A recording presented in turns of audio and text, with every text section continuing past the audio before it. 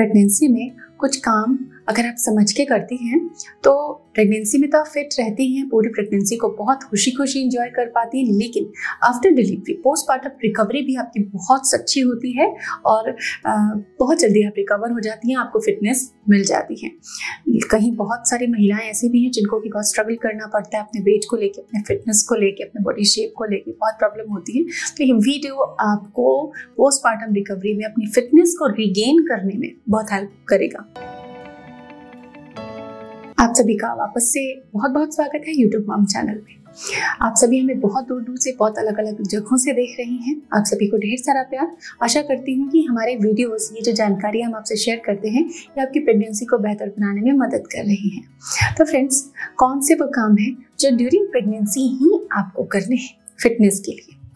तो कुछ ऐसे पाँच काम समझ लें कि प्रेगनेंसी में आपको पर्याप्त प्रोटीन खाना चाहिए।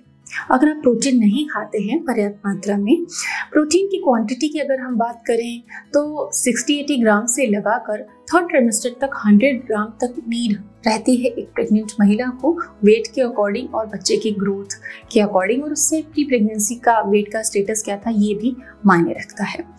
तो प्रोटीन हर डाइट में होना ज़रूरी है। प्रोटीन ज़रूरी नहीं कि हम डब्बा वाला पाउडर ही डॉक्टर से लिखवा कर लाएँ और वही खाएँ। स्प्राउट्स खाइए डेली एक दो चने भुने चने खाइए, उसका सत्तू पिए, फल सब्जियों में प्रोटीन है। दूध और दूध से बनी चीज़ें जो आधा लीटर दूध के बराबर होती हैं, वो आप खा सकते हैं। तो प्रोटीन अगर डाइट में रहेगा तो प्रेगनेंसी में आपको जेस्टेशन डायबिटीज़ की प्रॉब्लम भी नहीं आएगी।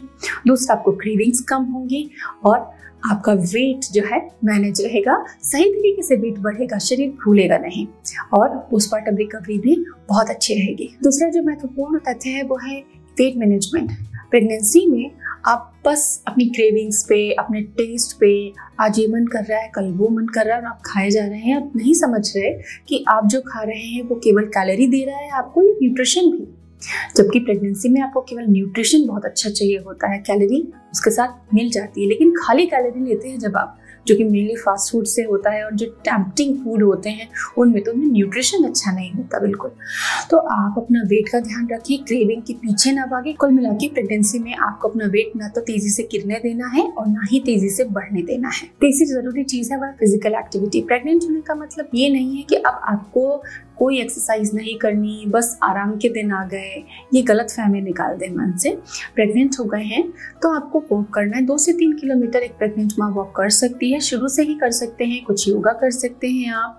हाँ वो एक्सरसाइजेस नहीं करनी है, जिसमें कि जंप करना होता हो, या फिर पेट में प्रेशर पड़े, या पेट के बल लेट के करने वाली एक्सरसाइजेस ये नहीं करना। है सिंपली आप वॉक कर सकते हैं, प्राणायाम कर सकते हैं, कुछ सेफ़ योगासन कर सकते हैं। फिजिकली एक्टिव रहेंगे अगर प्रेगनेंसी में तो रिकवरी बहुत फास्ट होगी। डाइट को हम बिल्कुल इग्नोर नहीं कर सकते। संतुलित आहार खाना चाहिए। आपको फल भी खाने हैं सब्ज़ियाँ भी खानी है ड्राई फ्रूट्स भी खाने हैं, दालें और अनाज। इसके साथ डेयरी को भी इग्नोर नहीं करना। है एक संतुलित आहार आपको खाना है, क्योंकि हर आहार की अहमियत है, वो हर आहार शरीर को आपको कुछ न कुछ देता है।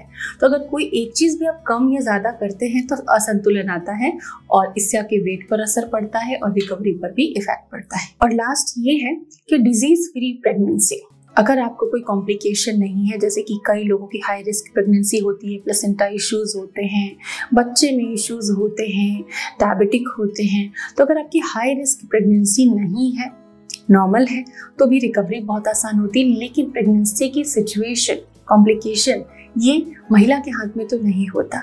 लेकिन कई महिलाएँ इसको मैनेज तो कर सकती हैं कि अगर अगर आप सही खाती हैं तो आपको जेस्टेशन डायबिटीज़ नहीं आएगा। अगर आप सही नहीं खाती हैं फास्ट फ़ूड ज़्यादा खा रही हैं तो जेस्टेशन डायबिटीज़ आपको आ सकता है। तो इसे आप मैनेज कर सकती हैं, जिस हद तक आप कर पा रही हैं, उसे करें, खुश रहें, चहचहाते रहें, आनंद में रहें और हमसे जुड़े रहें। Thank you